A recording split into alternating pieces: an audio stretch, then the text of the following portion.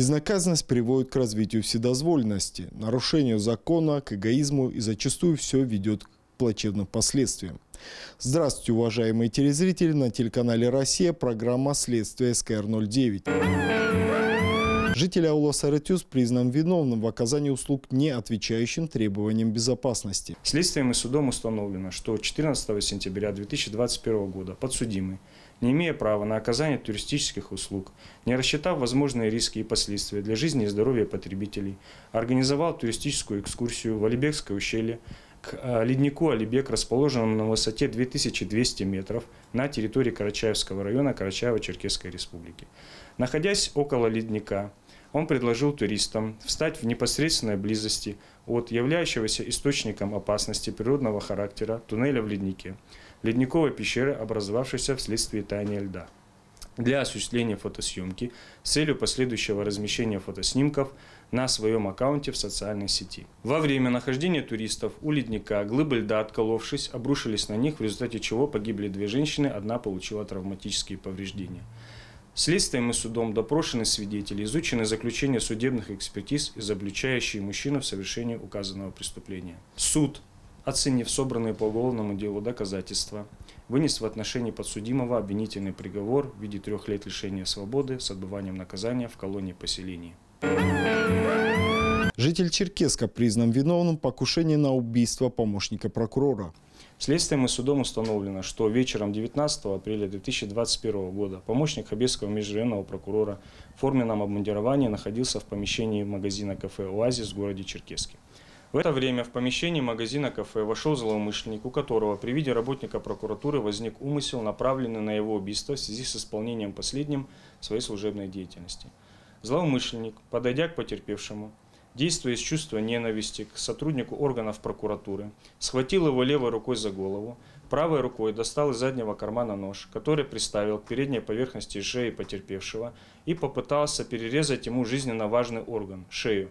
Однако его преступные действия не были доведены до конца ввиду оказания потерпевшим активного сопротивления и оказания содействия Э, очевидцами преступления. В ходе следствия допрошены свидетели, проведены судебные экспертизы, проведены иные следственные процессуальные действия, изобличающие мужчину в совершении указанного преступления.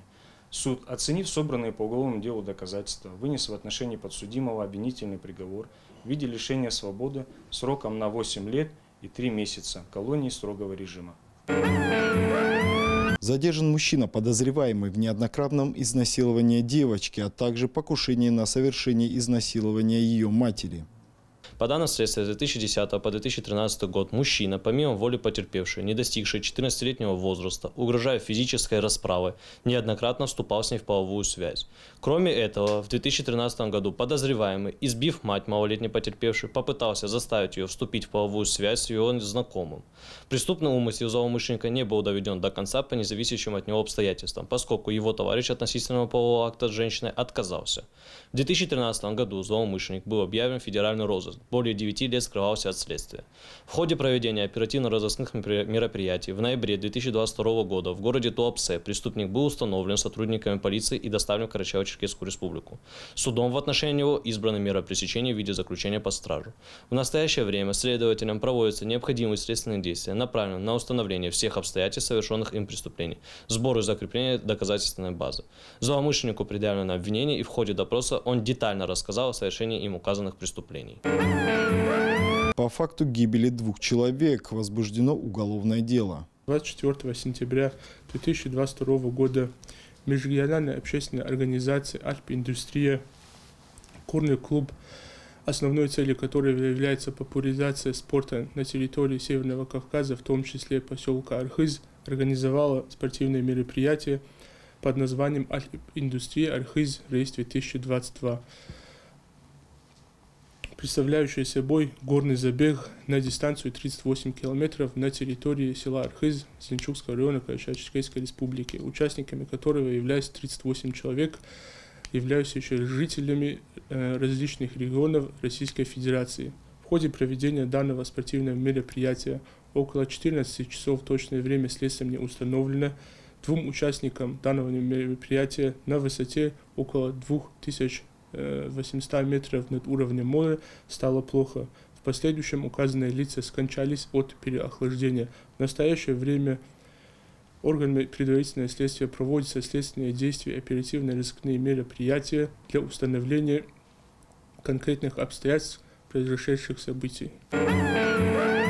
Карачаевске прошло межведомственное совещание по вопросу подготовки к туристическому сезону в зимний период. Важность проведения мероприятий по оценке подготовки курортов к горнолыжному сезону обусловлена тем, что уже на протяжении десятилетий Домбай и Тиберда являются одними из самых востребованных и любимых туристами мест со всей страны. Здесь прекрасные условия для развития туризма, красивая природа, чистый воздух, удобные спуски, устойчивый снежный покров и местное население – отличающиеся гостеприимством. Особое внимание на координационном совещании, которое прошло на базе национального парка в Тиберде, было уделено вопросам организации безопасности туристов и оказания медицинской помощи, состоянию трасс, техническому составляющему подъемников, работе различных сервисных служб для наиболее комфортного пребывания приезжающих. Проведение сегодняшнего мероприятия обусловлено необходимостью принятия дополнительных мер по обеспечению э, безопасности, жизни и здоровья э, граждан э, нашей республики, гостей республики, туристов, которые посещают наши туристические курорты для развлечения, для отдыха. Глава поселка Домбай Альберт Байчуров отметил, что к началу горнолыжного сезона курорт практически готов. Но есть ряд инфраструктурных вопросов, которые требуют безотлагательного решения. Это реконструкция мостов, благоустройство территорий, в том числе и парковочных мест и штрафстоянок, также вода и электроснабжение поселка. Говорили собравшиеся и о необходимости усиления систематической работы, направленной на разъяснение правил поведения в горах, обязательная регистрация туристических маршрутов, принятие мер по контролю за неорганизованным туризмом. Также об обеспечении готовности различных структур, таких как МВД, МЧС и других, к реагированию возможных чрезвычайных ситуаций, постоянному проведению мониторинга лавиноопасных участков, организации взаимодействия бизнес-сообщества и сервисных служб. Ведь развитие туристической отрасли является одной из приоритетных задач руководства Карачева-Черкесии. Тем более за последние годы туристический поток в нашу республику вырос в разы. Особое внимание мы обратили на оказание туристических услуг. То есть это в том числе предоставление услуг на горнолыжных склонах. А, то есть кто имеет право предоставлять эти услуги. А, мы обсудили вопросы о привлечении к ответственности лиц, которые оказывают эти услуги а, не соответствующим образом, так сказать. Вот. Дальше обеспечение инфраструктурой, обслуживание автодороги федеральной, которая ведет к курорту самому уборка снега, мусора и, и так далее. То есть самый актуальный вопрос, который на сегодняшний день стоят. Выслушав доклад и обращения, высказанные предложения руководителей органов исполнительной власти, а также заинтересованных структур и организаций, представителей бизнес-сообщества, оказывающих сервис, мэр Карачаевского городского округа Марат Урусов обозначил круг задач на предстоящий горнолыжный сезон. Градоначальник отметил и необходимость обеспечения непрерывного мониторинга обстановки и принятия дополнительных дополнительных мер по обеспечению бесперебойного снабжения объектов ЖКХ и топливно-энергетического комплекса и их безаварийную работу. Алла Качиева, Расул Бердиев, Вести Карачева, Черкесия, Тиберда.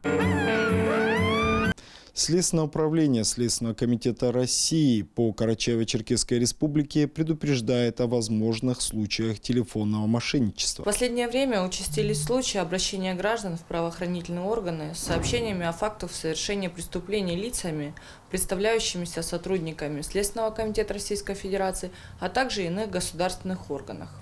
В разговорах с гражданами мошенники представляются сотрудниками силовых ведомств, склоняют жителей региона к действиям, приводящим к утрате личных денежных средств. Такие действия квалифицируются как мошенничество. Обращаем внимание жителей Карчао-Черкесской республики, что следователями Следственного комитета Российской Федерации все проверочные и следственные мероприятия проводятся исключительно в подразделениях ведомства, о чем гражданин извещается в письменном виде, где указаны его статус, основания для вызова, а также время и место проведения мероприятия. Кроме того, следователь имеет служебное удостоверение, которое по требованию может, может быть предъявлено гражданину для подтверждения данных о должностном лице следственного органа. Также обращаем внимание, что ни по телефону, ни в ходе очной беседы сотрудники правоохранительных органов не заявляют требований об отчуждении имущества, в частности переводе денежных средств на какие-либо счета. Сотрудники правоохранительных органов, уполномоченные проводить предварительное следствие, никогда не требуют по телефону представления персональных данных, банковских реквизитов, информации по счетам и пластиковым картам. Следственный комитет Российской Федерации призывает граждан соблюдать простые правила финансовой безопасности. Первое. Не совершать финансовых операций по инструкциям, полученным в ходе телефонных разговоров. Второе. Не сообщать никому реквизиты банковских карт, пин-код, а также код, который находится на обратной стороне карты. Ни по телефону, ни в ходе очной беседы сотрудники правоохранительных органов не заявляют требования о переводе денежных средств на какие-либо счета. Это незаконно. Желая проверить мошенников, не следует перезванивать на такие входящие вызовы. Номера телефонов отображаются некорректно. Используется так называемая подмена телефонного номера. Оптимальный вариант – вручную набрать телефонные номера, указанные на официальных сайтах правоохранительных структур, от имени которых вам звонят. Любые предложения от имени правоохранительного органа, например, помочь в поимке преступника путем перечисления денег на указанные собеседником счета, либо с целью обезопасить сбережения, это явный признак мошенничества. О таких фактах необходимо сразу сообщать в правоохранительные органы.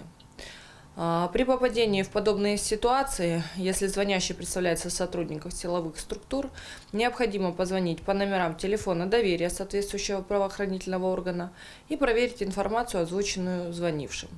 Следственное управление просит быть бдительными и не поддаваться на уловки мошенников.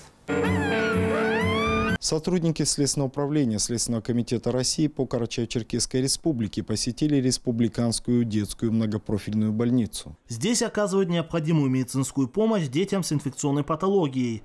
Ранее сотрудники Следственного комитета по Карачаево-Черкесии подарили отделению Республиканской детской больницы большой телевизор. Теперь малыши могут смотреть любимые мультфильмы во время проведения необходимых процедур. А сегодня сотрудники следственного привезли хирургический отсос, который позволяет удалять слизь и мокроту у юных пациентов. Сегодня нам подарили хирургический отсос. Это аппарат для удаления жидкости. Но в первую очередь для нас это удаление слизи, мокроты из верхних, нижних дыхательных путей. Мокроты забивают, скажем так, э, дыхательные пути, не позволяя ребенку дышать полноценно.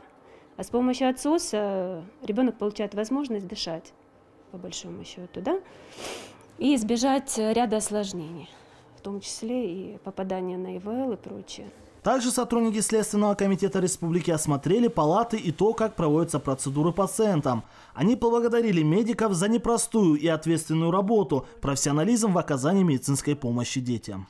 Ну, действительно, Следственный комитет э, с большим трепетом относится к паллиативному отделению э, Республиканской детской больницы. В прошлом году э, мы подарили, ну, приобрели и подарили телевизор для маленьких пациентов, потому что когда они смотрят телевизор, они не отвлекаются на манипуляции, которые с ними проводят доктора. Естественно, детки не плачут, а, спокойно на все реагируют. А, вот сейчас мы привезли хирургический отсос, который им очень необходим. Он э, периодически они выходят из строя, и, естественно, у них появляется необходимость приобретения новых. Дети – самые сложные пациенты, и нам отрадно помогать нашим медикам в оказании необходимой помощи, отмечают сотрудники Следственного комитета.